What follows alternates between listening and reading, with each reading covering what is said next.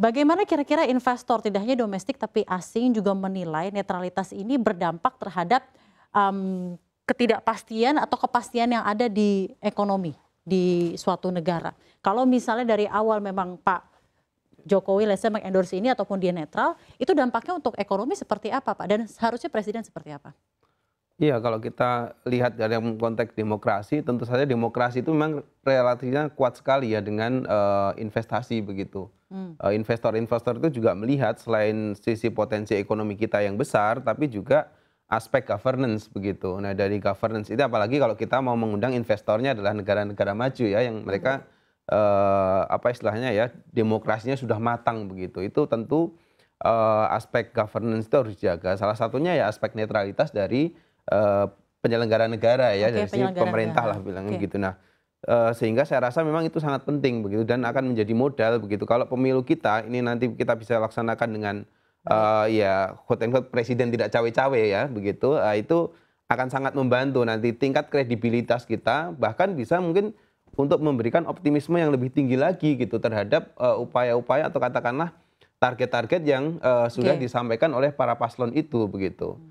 Nah, tapi memang kan ya kalau saya melihat ya para uh, akademisi ini yang hmm. katakanlah quote and quote protes begitu ya dengan ya. cara mereka, ya ini menurut saya memang akumulasi begitu karena ada beberapa oke okay, tadi soal sisi politiknya mungkin sudah dibahas oleh uh, Pak Surya ya, uh, tapi kemudian juga dari sisi ekonomi misalkan anggaran ya itu sudah terlihat sekali begitu walaupun uh, presiden menyatakan tidak ikut atau katakanlah benar-benar netral tapi memang pada faktanya misalkan soal uh, impor beras begitu yang uh, pada akhirnya kemudian bansosnya dipercepat. Kalau kita lihat data BBS sebetulnya kebutuhan impor kita itu tidak sampai 2 juta juta ton begitu. Karena penurunan beras karena dampak El Nino itu hanya sekitar dua persenan setelah okay. di, di ini ya data-data BPS menggambarkan itu artinya kebutuhan beras yang bisa diimpor sebetulnya bahkan juga di bawah satu juta ton. Okay. Tapi kebutuhannya terlalu banyak sehingga ya, itu kan akhirnya ya kalau profesor itu kan ngelihat data ya. Jadi mereka okay. juga ini tuh digunakan untuk apa kira-kira kan gitu dan ternyata bansos, ya? jawabannya seperti ini karena okay. perilaku kita sebelum-sebelumnya ketika menyalurkan bansos juga tidak sangat deket-deket awal tahun kayak gini. Hmm. Kalau kita bicara dari data ekonomi sebetulnya bansos itu sangat kita perlukan nanti di bulan Maret dan April.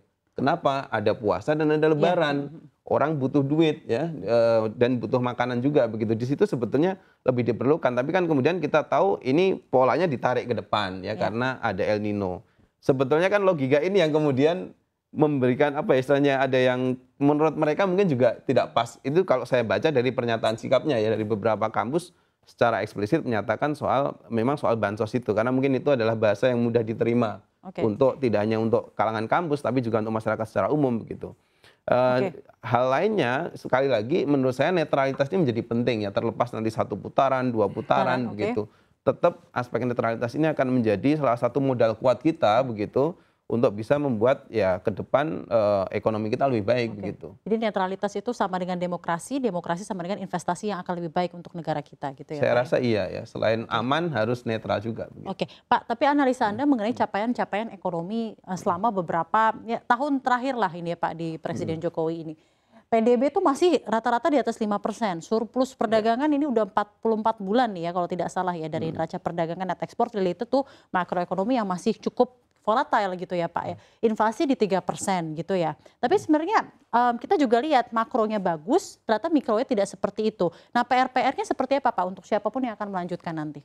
Iya, kalau dari sisi ekonomi tentu melihat kata-kata bagus tadi menjadi relatif. Kenapa? Karena okay. ya antara yang dijanjikan dengan realitas begitu ya. Okay. Oke, kita sekarang 2023 misalkan ya itu data terbaru tumbuhnya 5,05 persen. Hmm. Tapi sebetulnya kan yang mau kita capai itu 5,3 persen. Okay. Artinya ini juga belum tercapai kan begitu. Terus kemudian uh, terutama yang mungkin ada yang mengangkat isu ketimpangan. Ketimpangan kita meningkat sebetulnya yeah. ya. Iya. Sekarang angkanya 0,388 ya.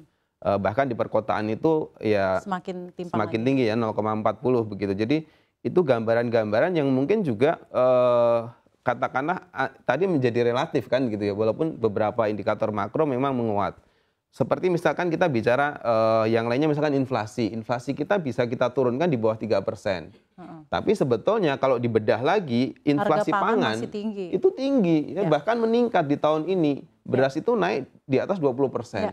artinya ya ini kan angka-angka agregatif ini ya secara umum oke sebagai sebuah indikator ekonomi iya tapi sepertinya kita juga harus melihat lebih jauh Oke. seperti janji-janji capres tadi harus melihat lebih jauh Oke. caranya bagaimana gitu bukan hanya yang ada di permukaan tadi begitu